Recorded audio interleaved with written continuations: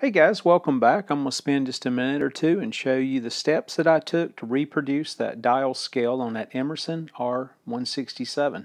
First thing I did was pull out my uh, handy spring tools, rivet set removal tool. I've used that thing many a times. It comes in really, really handy when you don't want to use a drill. And uh, here you can see I uh, placed the original dial scale on the flatbed scanner and made a uh, high resolution copy at about 600 dpi not having the uh, skill set to actually do the embossing of the original foil, I did a trace there, as you can see, of that center section.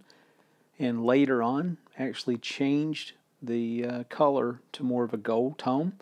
Uh, you could see there just for a bit, I used an overlay of the original uh, scanned artwork, and then I actually reproduced the new artwork and all the numerical data uh, using Microsoft Excel lots of other drawing programs that would be available to do this same thing, but um, got it on the computer, so uh, that's what I used. I mean, you can see everything coming back together here, and uh, really, really uh, turned out nice. Again, this is a complete reproduction.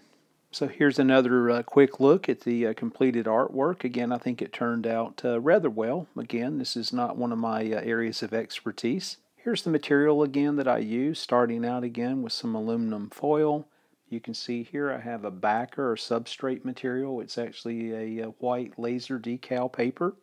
I used some 3M spray on the back of it, attached the aluminum foil. Then I painted the aluminum foil using the uh, Rust-Oleum metallic paint here, which was a gold rush metallic. It's close, it's not perfect. And then I printed the decal itself on the inkjet clear glossy vinyl that I already had on hand. And here's the uh, finished uh, design. Turned out great. I'll do the hole punches. We'll get it reattached to the uh, radio and uh, I'll show it off later. I hope you found these steps that I took handy and helpful.